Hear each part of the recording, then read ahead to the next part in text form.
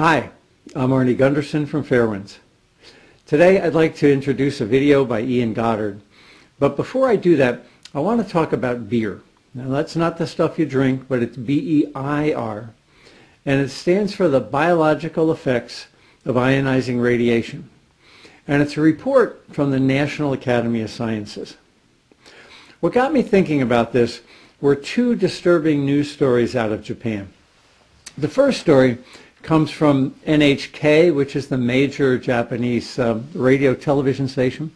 And the story reports that in Fukushima Prefecture, very, very high levels of radioactive cesium has been found in male cedar flowers.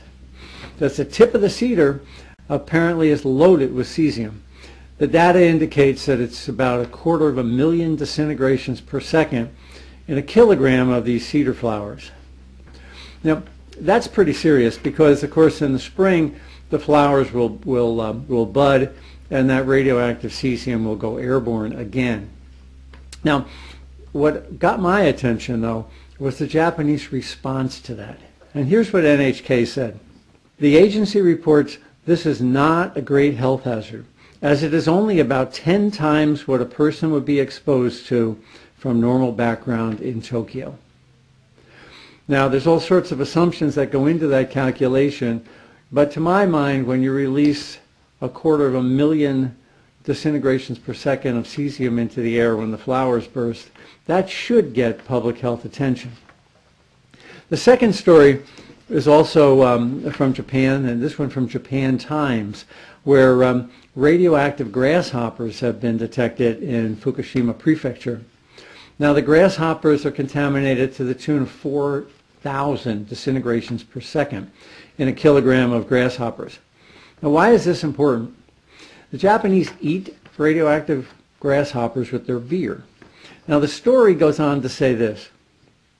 The scientists think it's safe to eat the bugs because they're usually in snack-sized portions, crunchy soy marinated locusts, enjoyed with a cold mug of beer.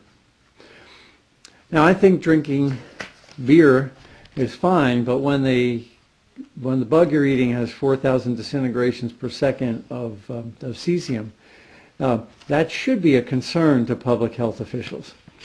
That gets me to the issue of beer, biological effects of ionizing radiation.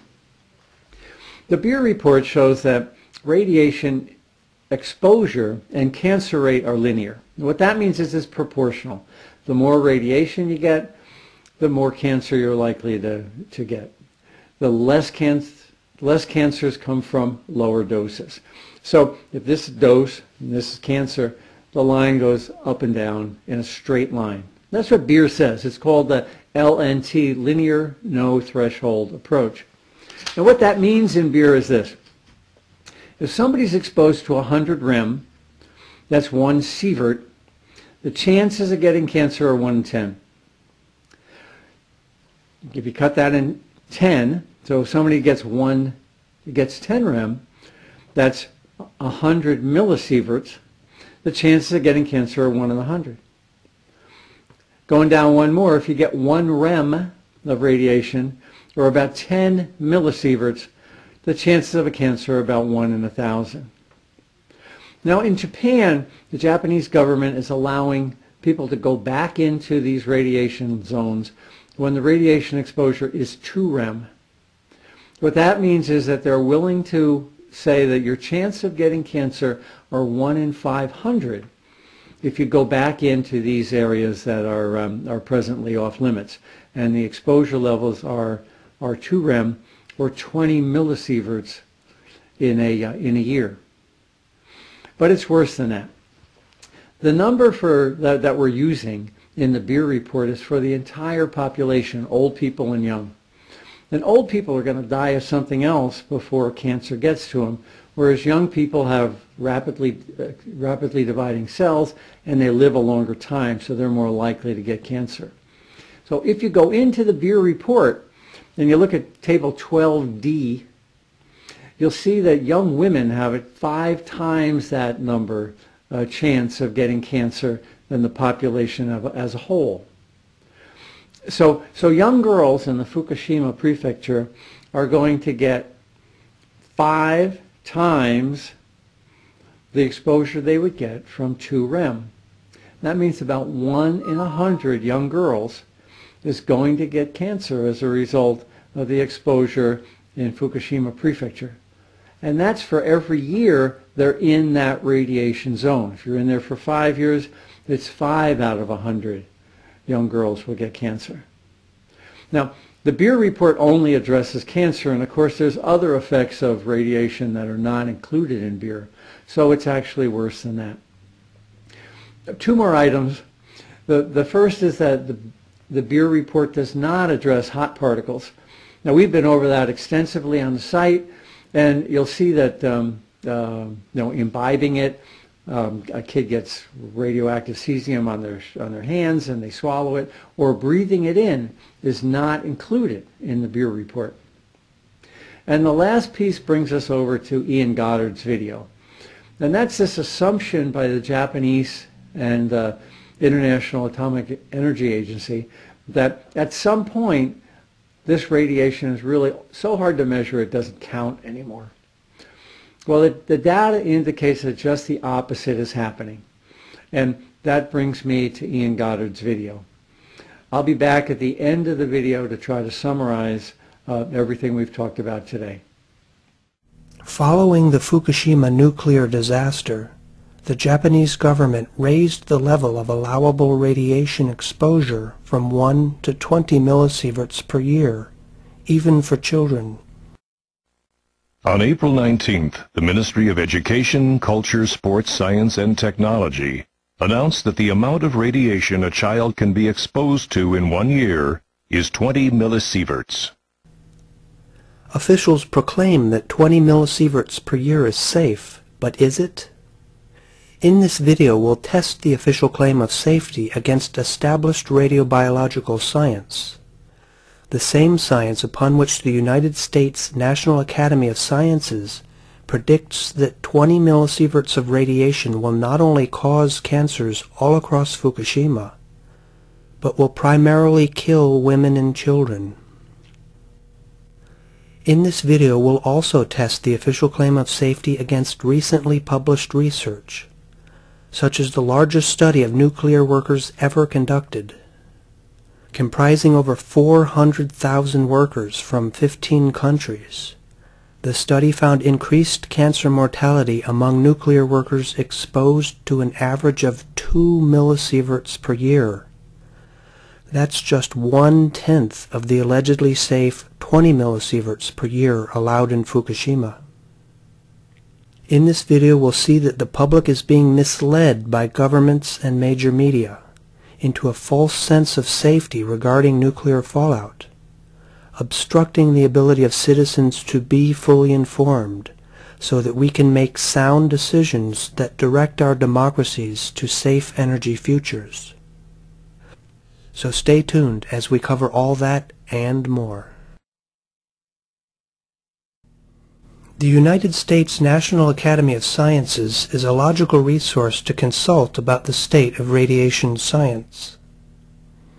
And the Academy regularly publishes reports on low-dose radiation risks. The reports are based on decades of epidemiological and radiobiological research from which risk-predicting models are built. The Academy's most recent report provides both raw data and instructions so that you can apply their risk models to a wide range of exposure scenarios. We can therefore find the cancer risk of 20 millisieverts. This is the Academy's data table for estimated cancer cases caused by 100 millisieverts of radiation, stratified by age and segregated by sex. Highlighted in yellow are the predicted number of cases for all cancers per 100,000 persons. Immediately we can see that the risk of cancer uniformly decreases as age increases for both males and females. In other words, children are most vulnerable to radiation. Plotting these data yields this graph This cancer risk graph keeps the shape irrespective of its dose. This shape is therefore the face of radiation-induced cancer risk across the human lifespan. Following the Academy's instructions on scaling the model to specific doses, the y-axis is recalibrated to the predicted cancer cases caused by the allegedly safe 20 millisieverts. And here in turn are recalibrations for 10 and for 2 millisieverts. According to the Academy, there is no harmless dose of radiation. So, obviously 20 millisieverts is not safe. But what's most remarkable is that children, and most especially girls, are the most at risk of radiation-induced cancer. In fact, girls are almost twice as vulnerable as same-aged boys and a five-year-old girl is five times and an infant female seven times more vulnerable than a 30-year-old man. These data from the National Academy of Sciences are freely available to all major media and government officials. Yet rather than informing the public of the actual state of radiation science and the real risks of nuclear power, they lead us instead to believe that 20 millisieverts of radiation is either safe or its effects are a complete mystery. Residents traveled to Tokyo to protest after the government loosened safety limits, despite the fact that the long-term impact of low-dose radiation is unknown. The long-term impact of low-dose radiation is unknown. Even worse than a failure to inform, Major media lead the public to believe that scientific models of low-dose radiation risk, such as we've just reviewed, don't even exist. Yet outside the media's cocoon of blissful ignorance, science marches forward, further characterizing the risks of low-dose radiation. And the flow of incoming evidence, published since the Academy's last report in 2006, suggests that the Academy's risk model is either accurate or may underestimate risk. In 2007, the largest study ever conducted on occupational low-dose radiation exposure was published. The study contained over 400,000 nuclear industry workers from 15 countries. The study found a significant relation between radiation dose and cancer mortality. The average period of nuclear worker employment in the study was 10.5 years, and the average dose accumulated over those years was 19.4 millisieverts. This implies an average annual dose of 1.85 millisieverts per year. To get a more accurate estimate of the average annual dose, this data table showing the average cumulative dose and years of employment for each country is useful. From these data, we find that the average annual dose for the whole cohort was 1.95 millisieverts per year, rounding off to 2 millisieverts per year. The data provided by the study also allow calculation of the median annual dose of the whole cohort, which was lower still at merely 0.45 or one half of a millisievert per year.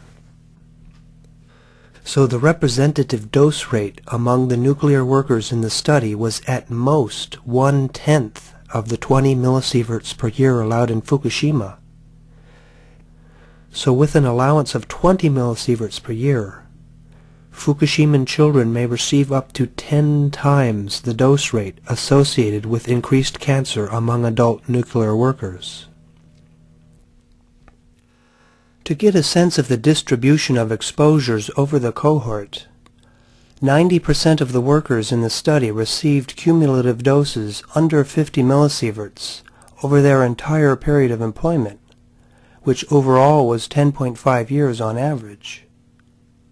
So dividing 50 millisieverts by 10.5 years suggests that the dose rate for most of the workers was probably below 5 millisieverts per year